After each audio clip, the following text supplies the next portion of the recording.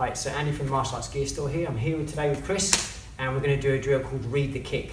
Um, this drill is really good for teaching you um, how to react in sparring, because what's going to happen is uh, Chris is going to hold the pad for me, and I'm just going to fire left and right kicks at him. And what Chris has got to do is read which kick if I'm going to throw, either my right leg or my left leg.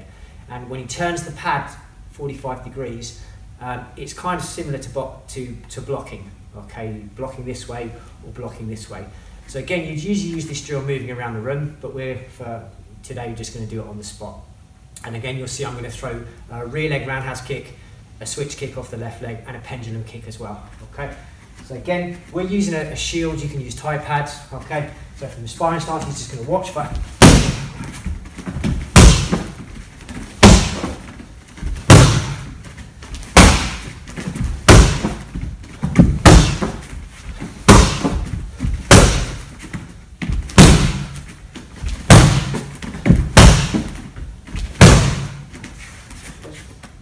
and that is called Read the Kick.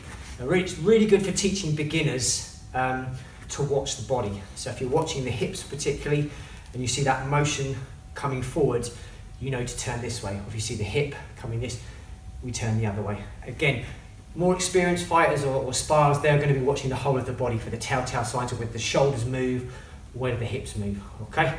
And that's our uh, read the kick drill. So I hope you enjoyed it. A nice quick drill for you. And if you liked it, please hit the like button, subscribe to our YouTube channel, and we'll see you in the next video. Thank you.